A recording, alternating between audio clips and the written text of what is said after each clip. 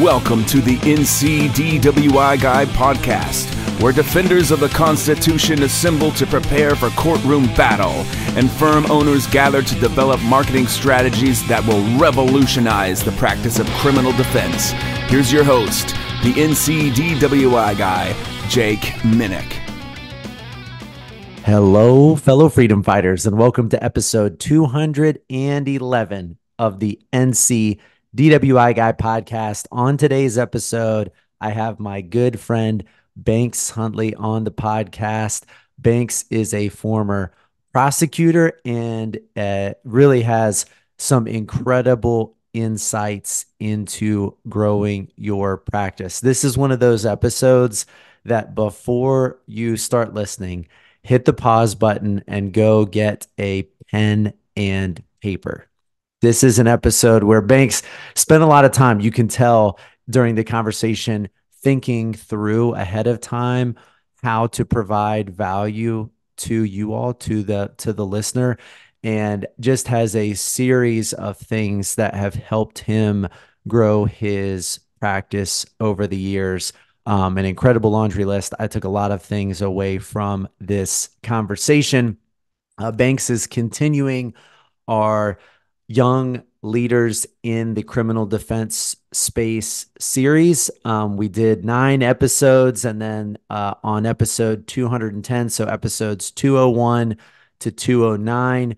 Um, we've done a series of uh, these conversations. 210 was kind of a reflection about my biggest takeaway from those first nine episodes in the series, and that was the emphasis that everybody had placed on the importance of relationships. And we are going to continue here for at least the next few episodes, this Young Leader series.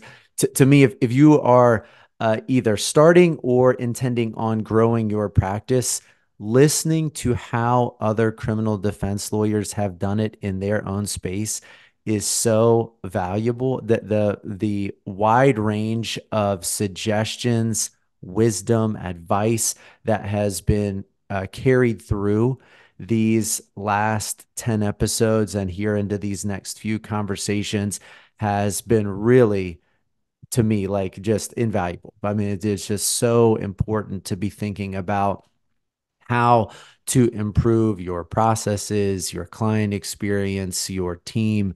Um, and, and there has been some unbelievable reflections on how lawyers in the criminal defense world here in North Carolina have been able to grow their practice. If you are trying to improve your firm. If, if you if you get into your office, walk into the office at the end of each day, and you think to yourself, there is never enough time. There's never enough time to do all the things that I feel like I need to do. And more importantly, that I want to do.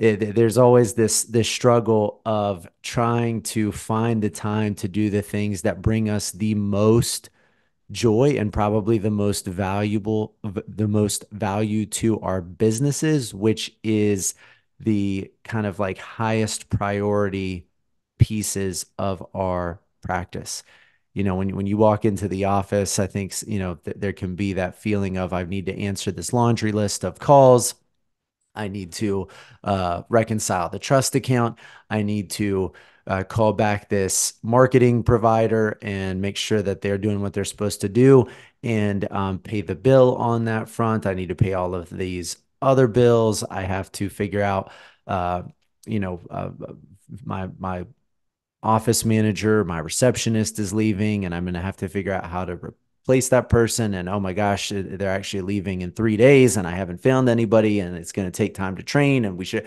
There's always this kind of playing uh, from behind feel in the small business realm. And so I think that one of the most valuable things that we can be doing as lawyers is learning from one another's mistakes, learning how other people in the criminal defense space have been able to find success, find time to grow their practices, and then concentrate on the things that bring them the most joy. If that's being in court, then how do you spend more time being in court and less time answering phone calls, less time uh, working on bills, less time uploading documents, less time in uh, uh, office management, less time in trust account reconciliation. If you want to spend more time on the business of your practice, well, you know, how do I how do I uh, figure out how to manage my caseload? How can I maybe offload some of my caseload? The way that we get fulfillment in any line of work is by doing the things that bring us joy. And when you get into the office, when you, you know, have gone to three counties, you know, you've gone to your third county of the day, you've been answering phone calls between every single uh, county, you're texting during court, trying to follow up with people. There is this fire to put out, there's this angry client to call back, there's this bill that needs to get paid. Um, uh, oh my gosh, you know, I forgot that I've got this school thing at my kid's school today. And you know, it's just one thing after the next. And then finally, uh, you know, you've done your uh, third consult of the of the day. You've called back the other three clients that needed a return phone call. You've paid the bill. You have um, uh, dusted off dusted off the desk so to speak and sat down in that office chair. And you think to yourself oh my gosh i've got to gear up for this thing again tomorrow if you want to have joy in your practice, if you want to love what you do, and this is true of anything, then you have to narrow down the the pieces of your work, the aspects of your job that bring you the most joy. Generally speaking, those are also the things that you are best at because it's easy to be good at what you love. The best professional athletes you can tell love what they do. At some point, it's not about the money, it's not about the status. It's I want to be the best that's ever played in this game. But you can tell that there is that joy in those particular athletes. And so, generally speaking, the things that bring us the most joy are also what we're great at. And so, how do we spend more of our time doing the things that we're great at and then figure out how to automate, how to find somebody else to do, how to outsource the things that don't bring us as much joy. And that is complicated. That is complex, figuring out that problem. And the best way to do that is to get in a room with other criminal defense lawyers and bounce these ideas off of one another, to get into a book club, uh, a business book club with other criminal defense lawyers figuring out how to run their practices better and bounce ideas off of one another. And that's what the Freedom Fighter Summit provides. So, pitch before before I turn the floor over to Banks, who is at last year's summit. Uh, pitch to September 26th and 27th in Asheville. If you want to be around other lawyers and admin team members that are on fire about improving their businesses, the leadership within their firm, the culture of their business, their team uh, camaraderie, the experience that they provide to the client, the value that they bring in the courtroom, the value they bring in the community. If you are interested in those things, you should be at the Freedom Fighter Summit in September. If you are not interested in those things, you probably should not be listening to today's podcast. So, uh, th- th- because Banks is about to bring a tremendous amount of value on all of those issues. So, uh, with that, the floor is to my good friend Banks, who is clearly crushing it in business.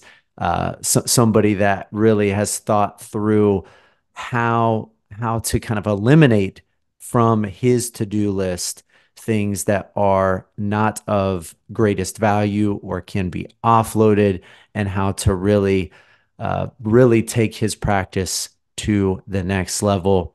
Really enjoyed this conversation with banks took a lot of value away from it and i'm sure you're going to do the same. Banks, super excited to have you on the call. It's been fun getting to know you over the past year, year and a half, year plus uh, share shared some very uh, like running stories, a lot of mm-hmm. like case bouncing off of one another, and then got to spend a little bit of time together at the summit. So it's been fun getting to know you over the past uh, year and some change. And uh, thanks very much for coming on and sharing your wisdom with the audience. Yeah, uh, well, wisdom might be uh, might be a stretch, but uh, yeah, I appreciate you uh, having me on. Love the podcast. Have learned learned a lot through it. So really grateful to to be here. Yes, same. I, have learned a lot through it. That's why I keep doing it. Is uh, I'm, I'm, learning something every time I do one. So it's it's a blast. I really I really like doing the guest episodes. Um, but I, I guess kind of before we kind of dive in, we're we're kind of continuing this um, young leaders of criminal defense series that we have been doing, kind of uh, people that are warriors in the courtroom. And so I guess kind of like going uh, a little bit further back to the kind of now uh, trial stage of things, what kind of got you down the path of law school and then into the world of criminal defense in the first place? Yeah, uh, so I was thinking about that, and I was like, God, my my story's pretty lame um, I was like, I, I, wish I had something like, you know, my brother was wrongly accused, and so I decided to.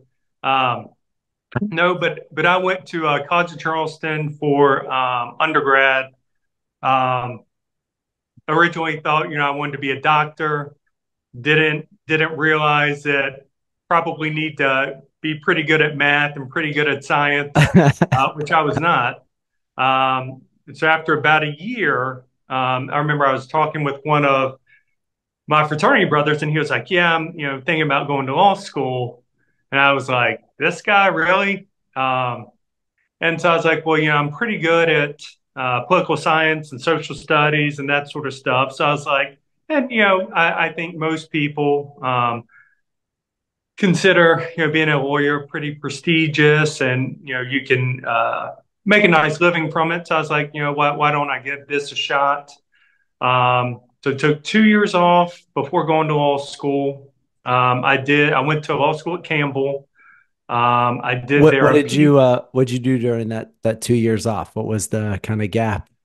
Um, so I stayed in Charleston a year. Um, just kind of you know worked at restaurants, hotels uh, there. Um, and then I spent a winter in um, Park City, Utah, um, skiing out there, uh, working for Marriott. And then I spent that summer in Key West, uh, Florida. Um, the girlfriend at the time, uh, her parents lived down there.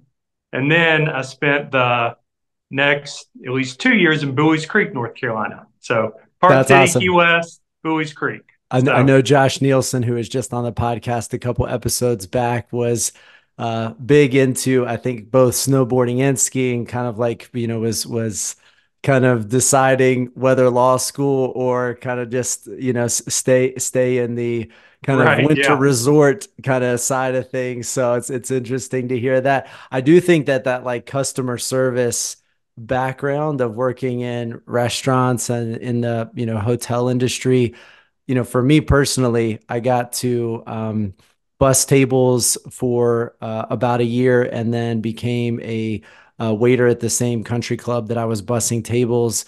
And it was a great opportunity to like just work with people one on one. You know, like I kind mm-hmm. of saw myself as like a entertainer more than a waiter. It's like the you know this it was great because the the country club that I worked at they basically had like a standard menu every night and everybody had already like prepaid for their meals so there was like they you didn't deliver a bill to the mm-hmm. to the mm-hmm. people there was like four options to choose from so not like the real professional restaurant you know uh service people that are uh-huh. you know remembering all you know remembering all these specials that we have and different taps that we have it was like very easy work. So it's just like I, I kind of just saw it as like I'm just here to like make people have a little bit of a like fun time at the end of their golfing day.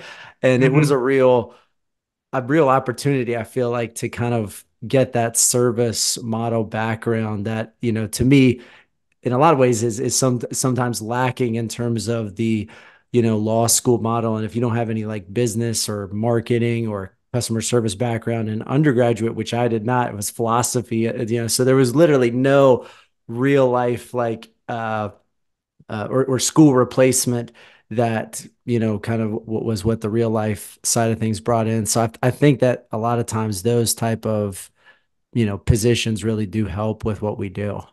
Yeah so so i actually worked for um, a timeshare company in park city go. yeah and so like so, so not an easy not an easy sell right well not easy but you know like for you know DWIs or speeding tickets. Even if you don't want to sign up with me, you're going to sign up with me. You know, like awesome. you know, what you know, we'll we'll give you two nights at uh, you know the this resort in Greenville, South Carolina. Come yeah. listen to my DWI presentation. uh, yeah, have you seen that South Park that came out with the uh, the timeshares? You know, they're no, going on no, this. No, like, I missed that. They were going on this vacation, you know, ski vacation and like you know they try to leave the timeshare presentation take the ski lift up and it ends up back in timeshare you know, presentation like they can't get rid of um, I, re- I remember that's awesome my, my dad was telling me uh, he and my mom went on one of those presentations for like a, a timeshare and you know they got like a gift card to a restaurant or something like that and before they went in there you know my dad was like we're not getting one of these, right? My mom's like, yeah, yeah, we're just going for a gift card. My dad said at the end of the presentation, my mom was like, I think it sounds like a good idea. We should get one. My dad's like, what are you talking about? so, I mean, uh, that, that sales yeah. Um, training that definitely, uh, you know, has paid off. Yeah. Uh, in, in, kind of in, in what we well, do. Well, so. I think that one thing that, you know, timeshares do a good job on selling. And I think, you know, some, some companies, do a good job in terms of delivering. Others maybe lack on the delivery. But in terms of the timeshare pitch, I think the whole model behind it is communicate more value than what somebody is going to pay, right? Like that's the mm-hmm. entire mindset of like make it stupid to not sign up. Like, right. Yeah. I, I, think that, that that's uh what's his name? Alex Hormozi kind of talks mm-hmm. about like good, you know, how to make a good offer. And it's basically like make an offer that is it, would be stupid to say no to or some, something right, along yeah. those lines. And, you know, I think that the timeshare model really has that down. And again, I think sometimes there's actual like delivery in terms of if you travel a lot or you like going to different, mm-hmm. you know, places, there's a, a lot of real value in it. But definitely in the pitch, it's like you got to communicate that value and you know no matter how great you are in the courtroom and all the motions and you know a detailed knowledge that you have about a DWI case if you're not communicating that in the consultation you're not going to get hired like there's not mm-hmm. a way to uh, kind of get that second bite at the apple with a client it's all first impression and you know you got to communicate this is this is i'm going to bring a lot of value to the yeah yeah. Yeah. I mean, if you're a great attorney, but you know, the clients don't know it, they're not gonna not gonna sign up. So right, right. Well, in terms of yeah, so I, I think I kind of cut cut you off there in terms of the the law school uh, journey, and then and then what kind of got into criminal defense. You you kind of I think were you know got to got to Campbell, and then what what led like in law school? What kind of was that where you shifted in criminal defense, or was it after law school? What did that look like? yeah, you know, when you're when you're in law school, you have no idea what the practice of law is. You know, you're like, yeah, I'm going to be a civil litigator. You don't know what that is. no. I mean, I had no idea. I've so, seen the TV shows. Yeah, yeah. uh, I mean, I, have seen uh, um, what's uh, Suits. Suits is yeah, the yeah, I, Suits is the big one now. Yeah, it's great. I um, love it. Yeah, I, I, had to quit watching Suits. I was like, how many, you know, episodes are in this season? It was like, you know, 16 and like 10 seasons. I was like, yeah. this would be like a full time job. So yeah, yeah. I think I think I did but, the same after about season three, but it was wildly entertaining. So yes. yeah. yeah. Um, but yeah, so um, law school. Um, actually, my second year, I interned at the DA's office in Mecklenburg. Uh, liked uh, liked that experience. Um, but after law school, I took a job um, with doing civil litigation in Winston Salem. Um, didn't really know it, it, was a solo attorney, um, and I'd kind of asked um, some other attorneys I knew, uh, or that you know were family friends, kind of what is this guy like? Uh, you know, one of the guys was like, uh, I, I, you know, he's not that great. The other guy was like, he's okay. You know, so I realize now, okay, in lawyer speak means this guy sucks. so, so I went and worked for this guy for about a month and a half. Um, and I was like, is this what, you know, practicing law is supposed to be like? You know, I'd be like, how do I do this? He'd be like, you know, figure it out. And I'm yeah. right out of law school. Yeah. Like, I don't know how to do anything. So, um, left there about uh, after a month and a half. Um, and I ended up taking a job at the uh, DA's office in Stanly County. So back then it was prosecutorial district 28, I think, which was Stanly, Richmond, and Anson counties. Okay. Um, and yeah, I, I mean, I, it's funny how stuff works out because I almost didn't even make the interview. So, um, you know, it's three judicial districts. I get, you know, the interview interview. They're like, come to, you know, 801 Main Street. I'm assuming, you know, I'm driving to 801 Main Street in Albemarle, which is uh, county seat of Stanly County. No courthouse anywhere. So I'm asking people like, "Where's the courthouse here?" They're like, "You know, it's a mile down that way." so I get there, you know, I'm already 15 minutes late. So not starting off good. They're like, actually, the interview's in Rockingham in Richmond County. That that's where the DA is today. I was like, oh my God. so at this point, you know, it's going to take me an hour to get there. So at this point, I'm going to be like an hour and a half late. So I'm like, should I just call them and tell them like I'm going home? Like, clearly, yeah. I'm not going to get this job. Like, this is horrible. But I ended up going and uh, getting the job and ended up working there for five years or approximately five years. Um, you know, great first job. Uh, love the people I worked with. Uh, learned so much there um, and got to meet, you know, just tons of people. So the attorneys in Stanly County, all the clerks, um, all the attorneys in Anson County, you know, the clerks there, same with Richmond County. Um, so just got to meet tons of people. Um, you know, the advantages in working um, in one of these smaller counties is you get to move up the chain pretty quickly. Yeah, that's uh, yeah, so so true. You know, started out in in district court, um, but then after about you know seven or eight months, I was in superior court handling felonies. Um, you know, by I think third or fourth year, you know, I got to do a murder case. So, um, you know, you're able to to move up quickly. Um, and I would definitely recommend, you know, I think most people want to go work in, you know, Mecklenburg or Wake or, you know, some of the bigger counties yes. um, as prosecutors, but there there's definitely a, a real advantage um, in you know working in some of these smaller counties. Yeah, definitely. Uh-huh. I mean, it's it's a generalization, but I definitely see, you know, a lot more discretion with DAs that are in those smaller counties, you get to call the shots a lot more because there's nobody else to answer to. It's like you've got to mm-hmm. handle the docket. There's nobody that you can sometimes tap on the shoulder. So, and then I also just think that generally speaking, the DA of those, you know, smaller judicial districts is basically like, I've got to give my ADAs freedom. Otherwise, stuff is not going to get moved. Like, we've got to get, you know, cases push out the door. And so, yeah, in the bigger counties that I've practiced in, it's always like people are like pointing fingers and it's like, this mm-hmm. is the mm-hmm. policy. You can go talk to that person or like, you know, I won't do that, but you can go over here. And it's like, I need to know who the, who's the decision maker. yeah. Although, you know, when, when I started at the DA's office, I got trained by the head assistant and he was, you know, the one making the rules, a complete rule follower. So I was the guy you would like that I would now avoid in traffic court, right? yeah. Who's like, yeah, you know, he had an IE two years, 11 months ago. You know, yeah. we got to wait another month before we can give it to you. Yeah. You know, so yeah. I was like the rule follower. Yeah. Uh, that like, you know, I know the defense attorneys were like, oh God, this guy's such a pain. but, you know, you definitely loosen up. um, yes. kind of the the more you do it. Um, yeah.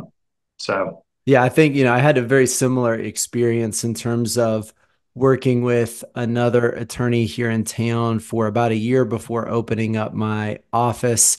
Uh, and he did a general practice, uh, including criminal defense, which is where I really fell in love with criminal defense work. But it felt like very, you know, thrown into the fire model. And, you know, I mm-hmm. definitely think with some of the employees that have worked at our firm, that's kind of been the, you know, sink or, sink or swim has been the model. And I do think that that is a, problematic model uh, most of the time in terms of just getting um you know kind of like you know as, as a new attorney like trying to find your find your bearings it's really difficult when it's like you know he, here's the situation go go figure it out one of the things that i love about criminal defense whether you're working at a firm um, with other lawyers or by yourself is there is such a great community of people that what you know, answer questions and kind of guide you along the right path. You know, I feel like I could probably sit down and talk with five lawyers here in the local bar more in depth about a case than I could have with the, you know, my, my first employer, my first boss, you know, like, a, you know, that mm-hmm. just, uh, there's, there's more giving of time and energy and education. Um, so it's one of the things that makes the criminal defense bar really special to me. Mm-hmm. Yeah, I, I, I definitely agree. It doesn't hurt, you know, that I think defense attorneys like to uh, hear themselves talk. Do you ask them about something, you know, they're going to give you like a, a, 10 minute, you know, lesson on, yeah. on something. So uh, that, that definitely uh, doesn't hurt. Um, yeah, but it, yeah, yeah, in terms of that DA experience, what were some of the biggest takeaways? I think that there's a real advantage that, you know, former prosecutors have that come into private defense mm-hmm. practice. Mm-hmm. So what were what were some of the big lessons learned? Yeah. So I, I think one of the, the things I learned early on is I remember coming to the office and there was a guy who had started a little bit before me, but he had been a prosecutor for like 30 years. His name was Gene Morris, and he had worked in like Alamance County and did a lot of the murders and the sex cases. And in uh, in Stanly County in district court, I was mainly in district court, but sometimes other prosecutors would be in there. So I remember I got uh, the office kind of early, and it was Gene's day to go in district court. He was going through all the files, you know, writing notes, doing all this stuff, and I was like, "What are you doing? It's just district court." You know, and uh, he was saying how he wanted to be prepared and like ask me questions about stuff where I like, you know, we just grab the docket, go in there, um, so it's like if this guy who's been doing this 25 or 30 years is getting this prepared for district court, um, you know, that's definitely something I need to be, you know, I don't know anything. Yeah. So that's definitely something that, that I need to be doing. Um, and, and I try to carry that kind of as a criminal defense attorney. Um, you know, one, one important thing, um, you, you want to be prepared, but like even for traffic court, uh, know what you're going to ask for. You know, I, I hear, you know, some other attorneys like, you know, what do you want? You know, the prosecutor will say, well, what do you want on this? Well, what can you give me? Like, kind of know, like, yeah, I want a PJC. Okay, yeah. I can't get that. I'll take a mm. nine over. Or, you know, so for each case, whether it's, you know, traffic court or a misdemeanor or felony, kind of know what you want to ask for, right? know what the know what the biggest issue is for your client right? Is it uh, being on supervised probation uh, you know going to jail um, you know being able to travel out of the country? What is their biggest issue? Um, so that way you kind of know what to ask for. Um, I, I, think that was a, a, good takeaway. Also and i assume uh, defense attorneys know this maybe they don't a prosecutor doesn't want to be trying a DWI case either. You know. It's like they would rather at three o'clock or four o'clock on a Friday, they would rather be driving home or, you know, doing work in their office. So it's not like they want to be trying a, a case, it, it, it, you know, either. Um, so a lot of times, you know, not with DWIs, but other sort of cases, if you can come up with some solution that kind of you know gives them a win and gives your client a win a lot of times they're going to go with that because it's not like even a, a, basic DWI where they're just kind of reading off the questions and stuff. They don't want to be doing that. There, there, you know, tons of other things that they would rather be doing. Um, I think some some other stuff I, I learned as a prosecutor is um, kind of what defense the type of defense attorney I didn't want to be. Um, you know, I, I am a pretty uh, laid back guy. I like to joke around, um, and that's kind of how I am as a defense attorney. You know, I'm not going in there uh, being super aggressive. Um, you know, hemming and hawing about having to try a case or the plea offer I got. Um, I've always found that you know you attract more bees with honey. So if you have a good relationship with the prosecutor, when they see you, the prosecutor is not like, "Great, this guy's coming up." Yeah, you know exactly. I, I yes. feel like you get the same outcome as the more aggressive attorney or, or the attorney that might be considered kind of a jerk. Um, but you know, I, I would say just be who you are. Don't you know? If, if I came into court being super aggressive and uh, acting like that, it just wouldn't. I, I, don't think it would work for me.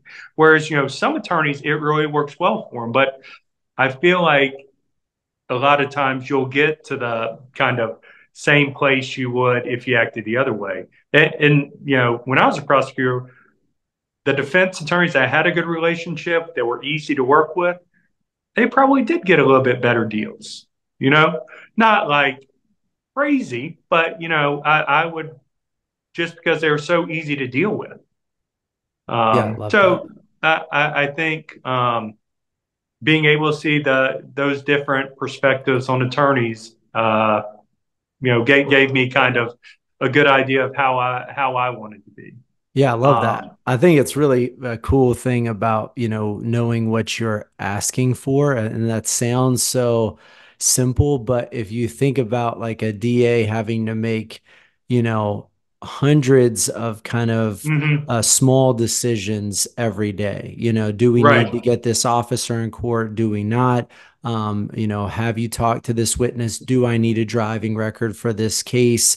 Um, is this a continuance I'm going to pose? Is it not? What am I doing on this on this case? I mean, there's just so many decisions that you know anything that can be offloaded is a huge weight relieved so when you just yeah. come up very clearly and say here's what i'm here's what i'm shooting for and and kind of give the you know rationale for that in a succinct fashion i do think that that is something that uh i I did poorly on for a long time was just, you know, I kind of felt like, you know, I need to know what the offer is going to be, go, you know, go uh, maybe maybe give a counter offer go talk to my client about that and then come back. And i think that you know going forward with a very clear vision of here's what we're trying to do and it's one of those things that I, I, think a lot of times you just get surprised when a prosecutor's like, "Yeah, that sounds sounds good to me. Let's let's you know let's get one more case off the counter. That's uh, that's that's yeah. all right. You know, so I I think that that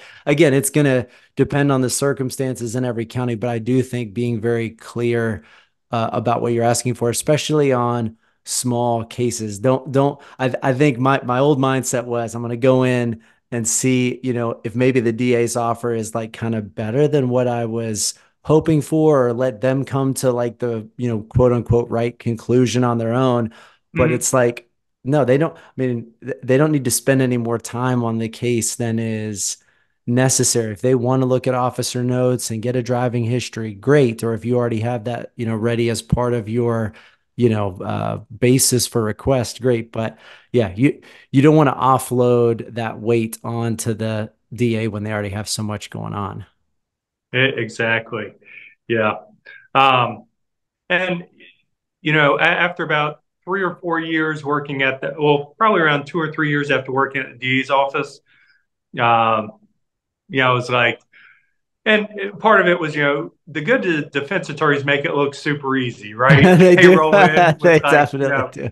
Their stack of traffic tickets, or yeah. like, you know, they got four DWIs on, you know, in a day. You're like, God, this looks, you know, super easy.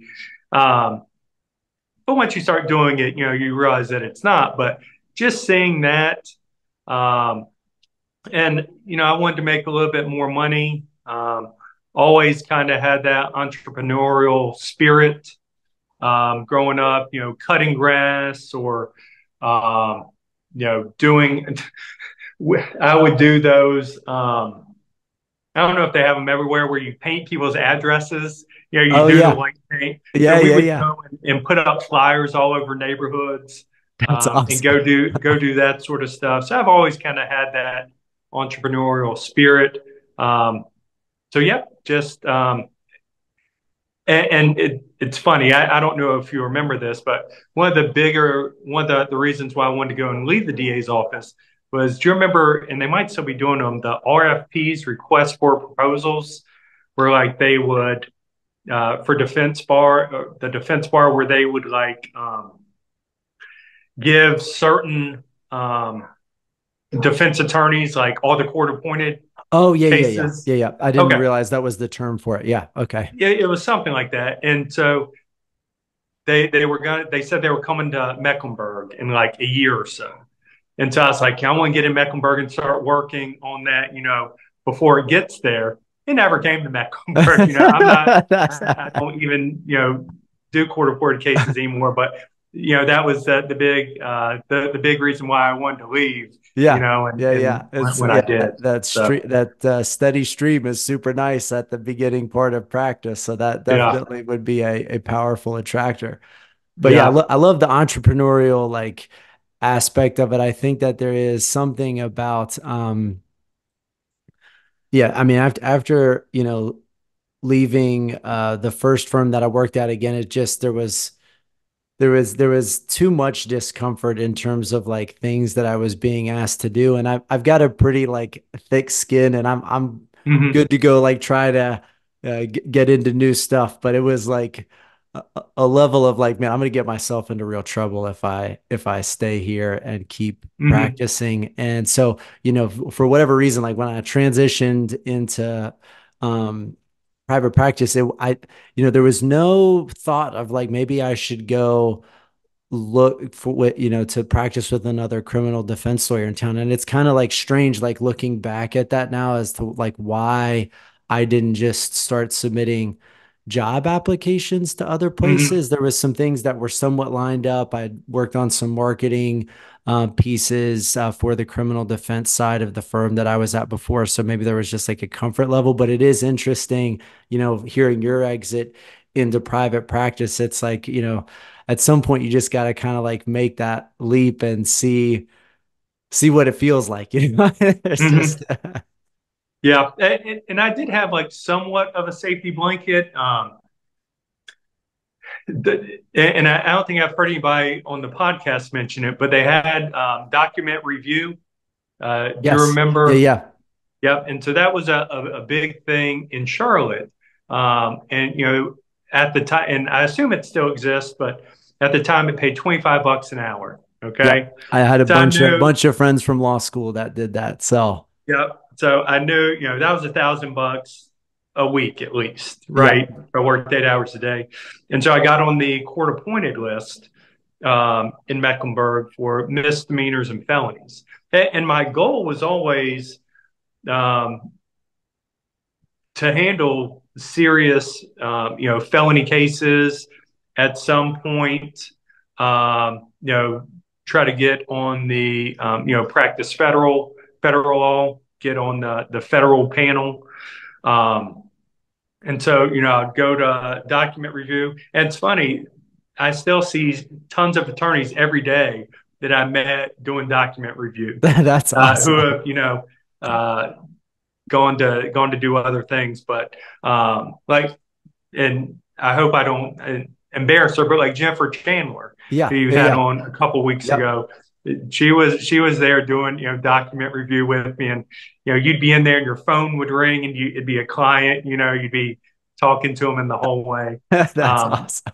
But it was a great way to kind of um, bridge the gap. Yeah, that's huge. Um, I, I think and- and- anything that is bringing in like a steady source of income that you can lean Mhm. on as you're making that jump, I think anybody that is considering making that jump or thinking about, you know, how would this work, it, it, it feels a lot less dangerous if you've got a steady source of income. So similarly, when I went out on my own, and maybe again, this could be like part of the reason why it was like there was not even a consideration of like applying.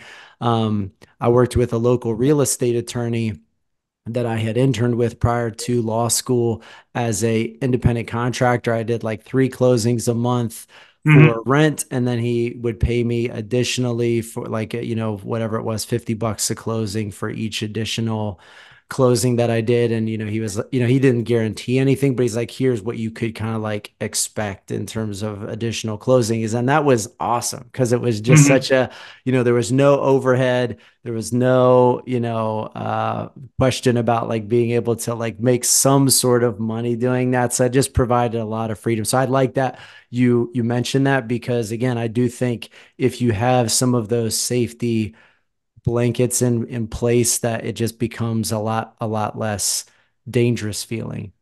Donating plasma you know whatever it yeah, takes whatever it right? takes. That's right.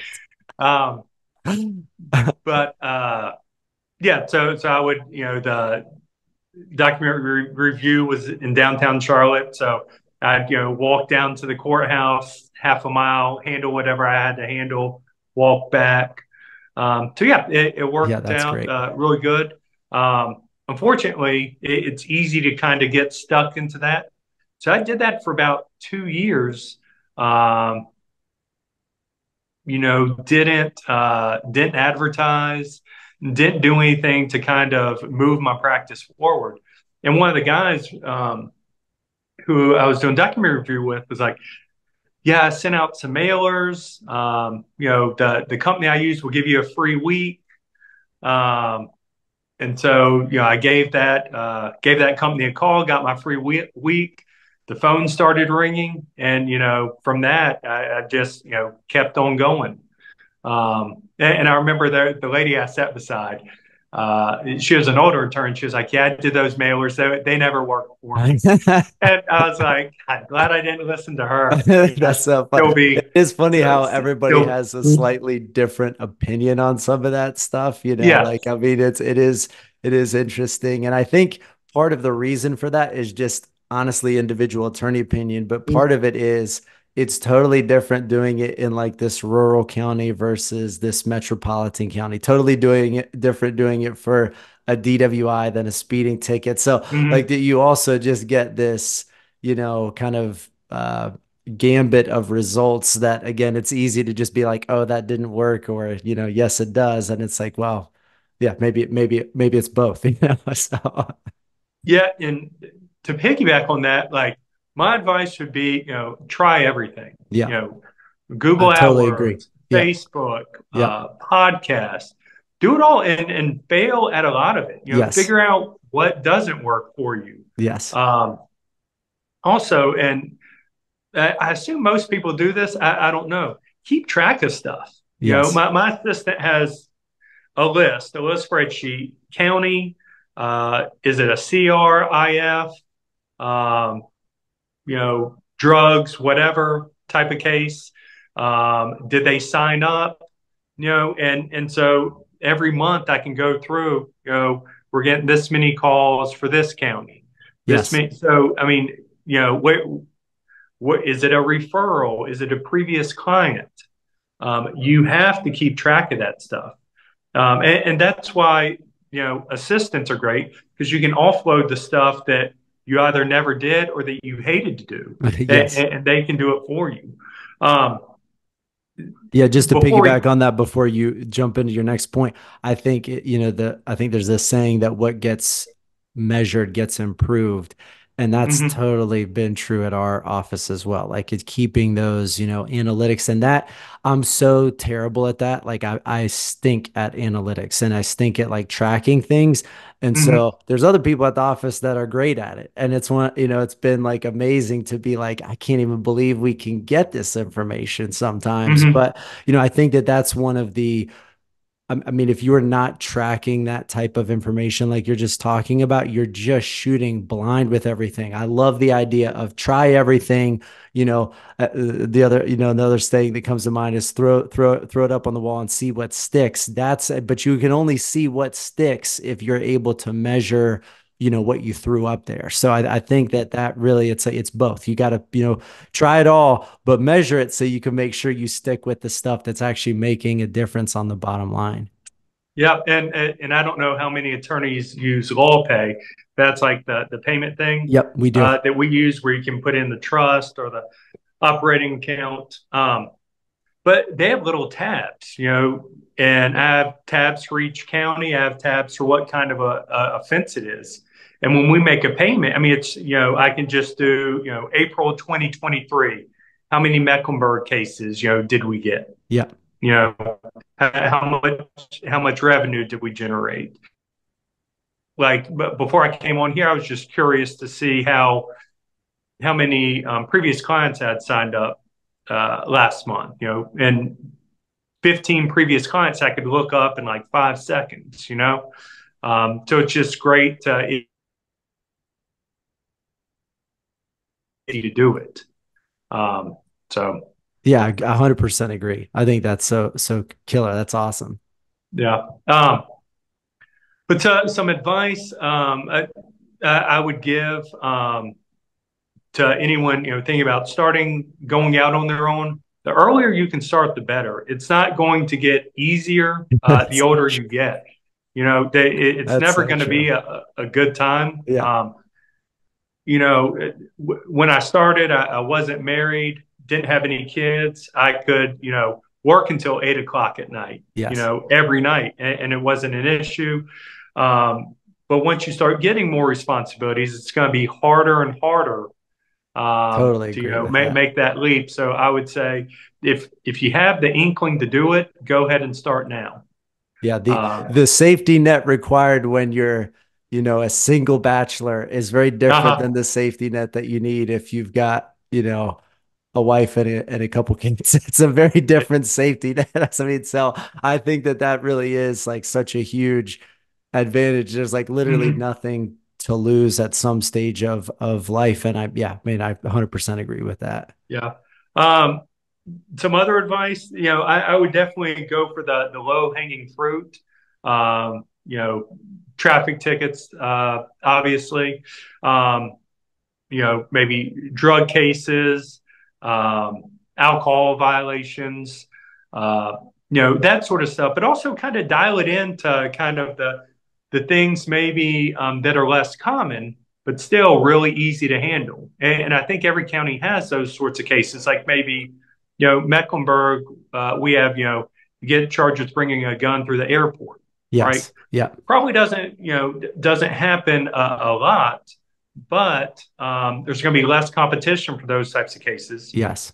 A lot of times they can do a deferred prosecution um, you can charge, you know, a, a, good amount for it, and you know, you might only get one or two a year, but that's just something easy you don't have to think about. Yes. Um, so kind of dial that sort of stuff in. You know, every county has that sort of stuff. Uh, it could be, you know, carrying a concealed weapon. They complete a gun safety class, it gets dismissed, or you know, um, hit and run. They bring in an insurance letter. You can get an unsafe movement. Every county has those kind of easy um, type cases that you know might not have as much as traffic tickets or other things, but it's just kind of consistent uh, payment, you know, through the year. And if you get enough of them, you know, those sorts of cases, it, it starts to add up. Um, so just you know, whether you're sending out direct mailers or whether you have a website or you know on your website a specific page dealing with gun charges. Um, or you know you have a, a podcast or, or a video you know a five minute thing talking about one of these things that's going to generate revenue year after year um, you know it might not be a lot but when you get you know five or ten of those things it, it really starts to to add up yeah and um, i think um, you also start to develop a reputation if you're handling that kind of thing as well so if you're somebody that is routinely handling um, you know the uh, uh, carrying concealed weapon charges in the mm-hmm. airport. Mm-hmm. Other people in the courthouse are gonna recognize that, and maybe they have a friend that like asks them since they're a you know there's a bailiff that you know is a law enforcement, and they've got a friend that's like, hey, you know, this happened to me at the airport, Uh-huh. forgot about it, you know, whatever it might be. And it's like, well, I know, I know Banks has got a lot of these kind of cases, you know, going on. Why don't you give him a call or another attorney is is in that same space, uh, DA, whoever it might be. I think if you earn the, you know, kind of like space in that niche, again, as infrequent as it might be, it now becomes easier to get those type of cases over the long Mhm. term. So I love that. I love that strategy. Um, something else I, I was thinking about. Um, if you have not raised your prices in the past year, raise your prices. Everything has gotten more expensive. Um, over the years, every time I've raised my prices, it has not affected signups at all. yes.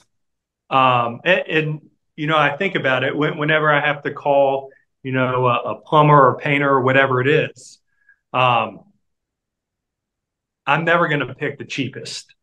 I, I don't care how good it sounds. It, you know, in the back of my head, I'm always like, he, he's got to be skimping. I think very something. few people think that way. I mean, especially especially in the world where there is kind of like a court appointed realm, right? Like, and Mhm. again, this is not to say anything bad about public defenders because I, I know a lot of the best trial attorneys in any given county are public defenders. So this yeah, is not, it, I, I, sorry, but I, I love it when people are like, "Yeah, I don't want a public yeah. defender." I, w- I I'm always like- tell people straight up, I'm like, you're crazy, dude. Like that's if you the fir- qualify, get one. Yeah. I mean, they're they're better than probably half the Yeah. attorneys, you know, here.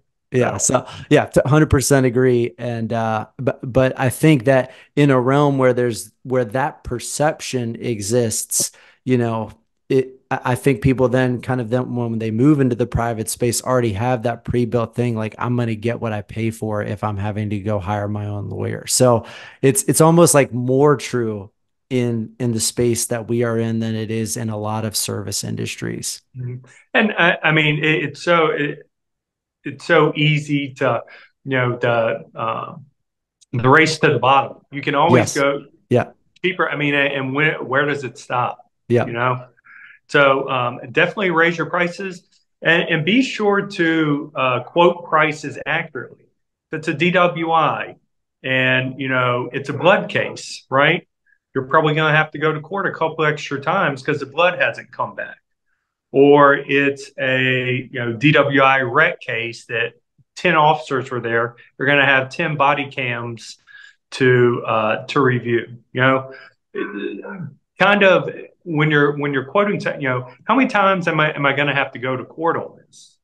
Because as a solo, I mean the the biggest issue you're going to have is your time. Yes, Right. 100%. So you want to be sure to to quote the fees uh, fees accurately. Um, I would say um,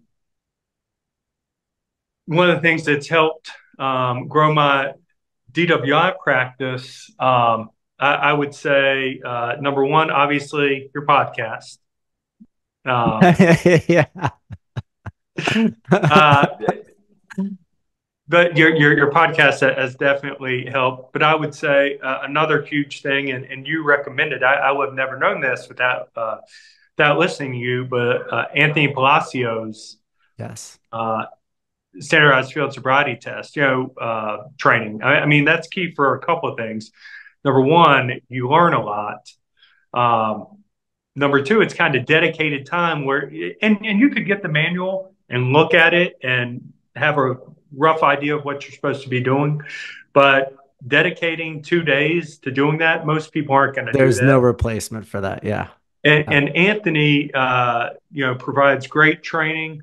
Um, and if you ever need to email him, I've emailed him once or twice. Always, you know, Yeah. responds back. Sa- same. I've I've probably emailed him 20 times over the years and he always Mhm. gets back no charge. Like it's, you know, he can be hit and miss sometimes because he's Uh-huh. going all over the country testifying, but he's he's great. I know he just had a training in uh Alpharetta this past weekend and uh Stephen Thomas, who's at the summit, was down there. Two of our attorneys were down there. I mean, it's it's something I 100% believe in. I like I, I just Yeah. think it's so important. I, had a case uh, yesterday, DWI trial, and and this was um, lost the case, but uh, when she was doing her uh, HGN test. Um, and, and, this was a lady that was an instructor. Um, when she did her um, the uh, nystagmus at max deviation, they're supposed to hold hold that their finger there for four seconds. And on the video, she was counting, you know, one, two, three, four. And I was like, let me just pull out my phone and actually time it. And she was only holding it for three seconds. Yeah. So before we went in yeah. there, I was like, I want you to, you know, use my phone and time this. And she was like, it, to her credit, she was like, yeah, you're right. It's three seconds. I, I can't count that uh, against your client. Uh, and I never would have, you know, known any of that uh, if it wasn't for Anthony's uh, class. Yeah, hundred um, percent. And I think that's a great way to handle it too, just from a strategy perspective. There's there's a lot of different ways to do that, but I recently had a similar uh, deal with an officer and instead like i could have put him on the stand and embarrassed him on the stand and you know gone through everything in front of the judge but instead i like pulled him outside you know, was like, hey, I'm gonna, I just want to watch through the field sobriety test because this is part of like my objection mm-hmm. is the way that you did this. Watched it together, and he's like, yeah, I agree. And I was like, you know, uh, I, I'm gonna argue this on the stand, or you can talk to the DA and see whether they are gonna bring this into evidence. But you know, that that I'm just going to be op- open with you about it. And I think he really appreciated that. I, you know, I think it's you know one of those things where some sometimes you don't need to make your point in the in the courtroom if it's helpful to you. So and, and I think it's also easier making the point when you're just sitting there with your computer right in front yes. of you know you and the officer instead of you know trying to play the video and have them you know do the time or you know what whatever your issue is. Yeah, and you also uh, you're not you don't meet that resistance of like I've got to stick to my story talking in front mm-hmm. of a judge while I'm under oath it's like we're here in yeah. a relaxed setting. Here's what my argument is. You can look at this on video. We don't have to we don't have to walk through this in the courtroom if you know the state doesn't want to walk through it in the courtroom. And yeah, I, I, think that there's much easier buy-in to that than being like backed up against a corner where it's like the case is on the line. Are you gonna like admit this thing? like, yeah, it, it, exactly. I, I, agree. And I, I was gonna ask you which, which way you thought uh, it, it was better to do. Yeah. Um, I think but, sometimes it can in front of a jury, sometimes it may be better to like just be be kind of rough in terms of like let's get all the nastiness out because the jury is like you know building in this but i think most of the time in front of a judge it's like they just don't care you know so yeah you get so few of those i got you moments and i yeah. like actually like be able to use one, but uh, because I mean it never happens like yeah. in real in real life. Um, but for DWIs uh, also, and unfortunately I don't get to do this one as much, but when you're in court, listen to the other attorney's arguments. Yes. I mean, you will find stuff that you stuff that will win you cases. You know, it, it, if it if it works for one attorney, most of the time it's going to work for you as well. Yes. And a lot of times these are, you know, attorneys that have been practicing uh, a lot longer and, you know, are a lot more eloquent than I am. Yes. Um, but then I just, you know, steal their verbiage. Yeah. which, and, which they're not offended by at all, which yes. is so awesome. You know, it's like they're happy to share that. So it's great. They, yeah. They, they love it when you're like, yeah, use your argument. Yeah. yeah.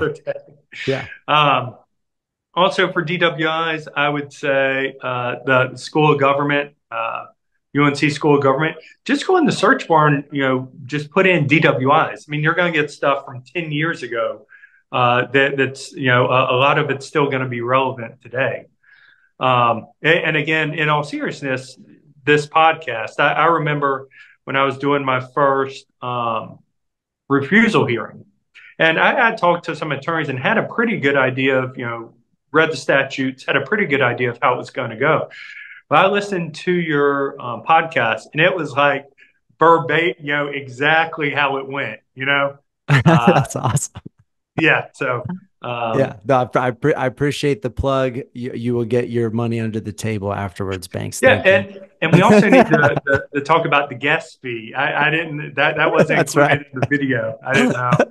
Uh, I would say uh, another thing to kind of grow your practice as soon as possible, hire an assistant. Yes. I mean, that hands down is going to make you money uh, from the very beginning.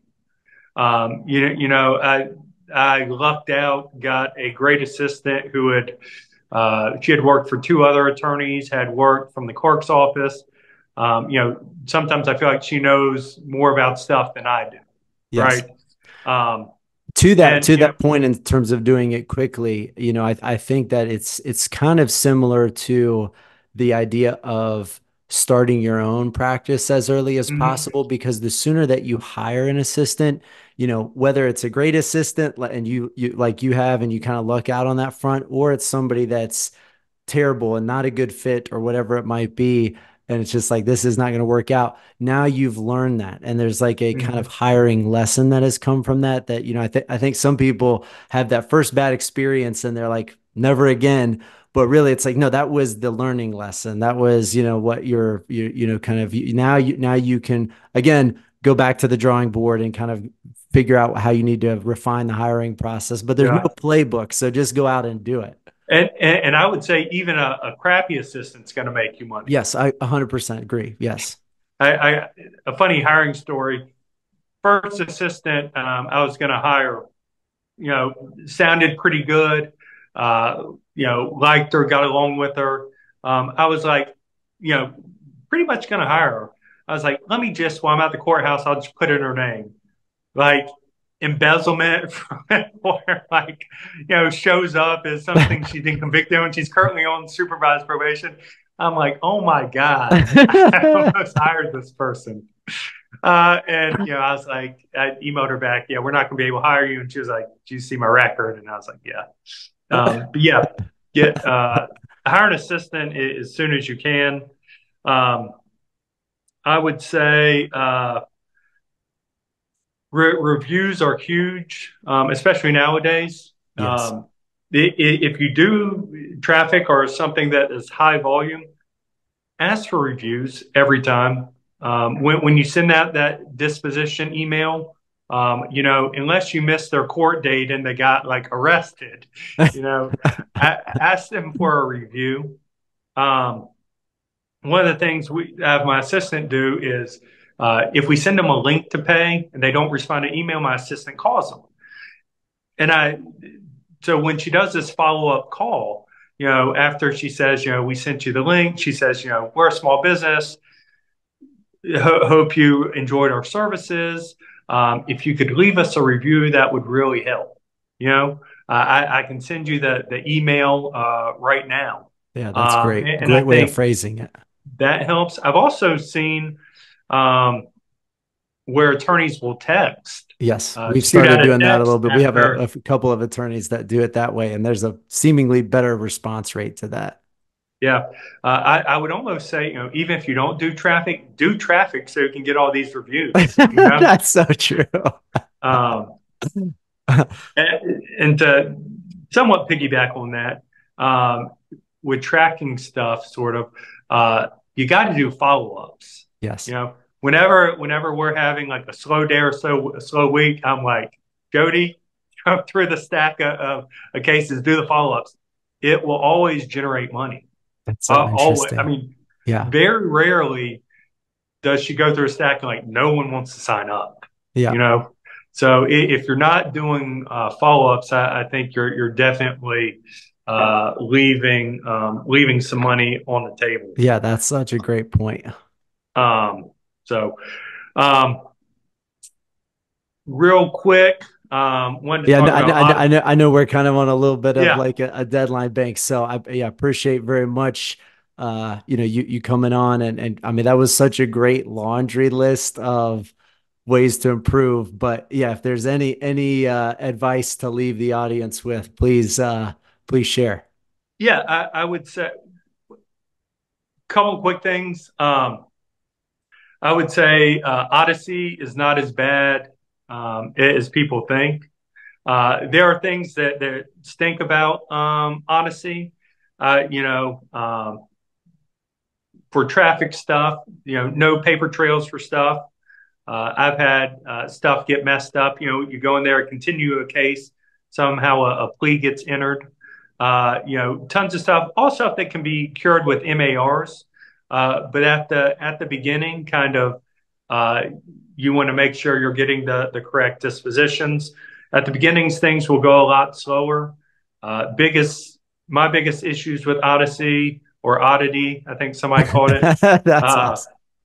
Getting uh, anything signed by a judge, uh, limited driving privilege, FTA strike, uh, MAR order, any of that, it's going to take a lot longer.